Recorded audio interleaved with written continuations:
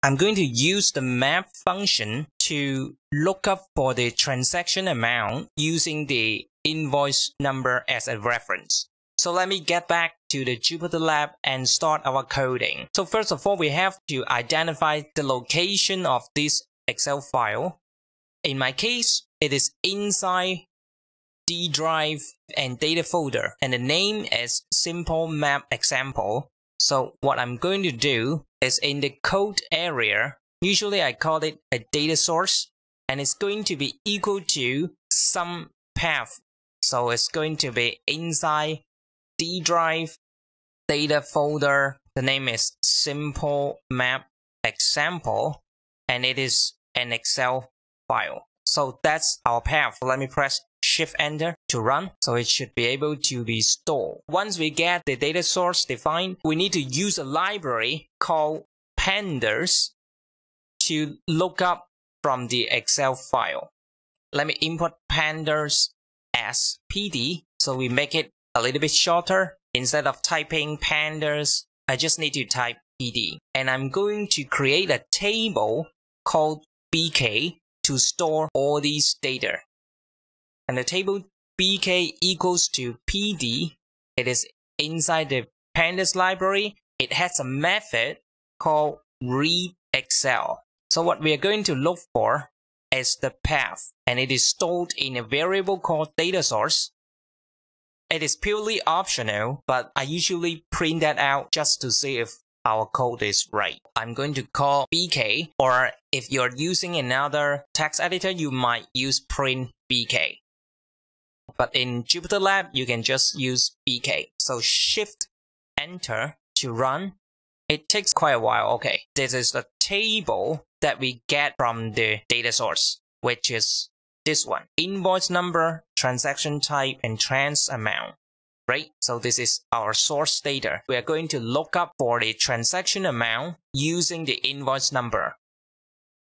Okay, now we need to create another table called JE to look up for the transaction amount with the invoice number. But first of all, we need to fit in the materials inside the table JE. So it's going to be equal to, once again, we use PD, which is the pandas library, and then use a method called data frame to define the index column, which is the leftmost column and the rest of the columns. So usually it has index equals something comma, and then columns equals a dictionary of column names.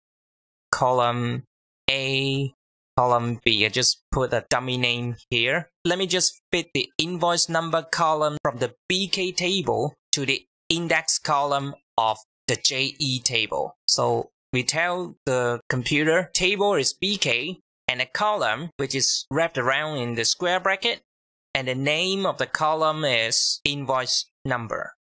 Invoice underscore num. Once again, I can print out the table JE to see what we get. Okay, let me just press shift enter. Okay, so you will see the leftmost column of the JE table has an index column, invoice number. So the leftmost column of the JE table is invoice column, which is this one in the BK table right? And we have two more columns that is wrapped around in a curly brace, column A, column B, right? But I didn't sort that, so column B comes before column A. Okay, and now I want to look up for a transaction amount from the BK table. So you will see a transaction amount column here in the JE table. Inside the JE table, I add a column, so you see a square bracket, and the name is going to be, actually you can call it whatever you want, but usually I will use the name that I'm looking for, which is transaction amount. And this column is going to be equal to something. Okay, what I need to do is I use the invoice number in the JE table, which is JE.index, instead of typing JE invoice number because it is not in the content area, it is the index column. So I can't use JE invoice number. So I have to use JE.index, which refers to this column. And then I use the map method to see a dot map bracket, right? So that is the map method. So it's going to be mapping to the BK table. But before we look up for the transaction amount, we need to make the invoice number of the BK table the index column of the BK table. So we need to set index. We need to set index and use a bracket to wrap around a quote which tells the computer the column name, which is invoice number. And then we add a square bracket to wrap around for the target column that we are looking for, which is transaction amount. Okay, so this is transaction amount. And then usually I will use, okay, actually I should, I need to add to, usually I will add a to underscore dictionary, oh, sorry, DICT dictionary method, and then I close the bracket. Then if I want to see the result, just type JE and then shift enter.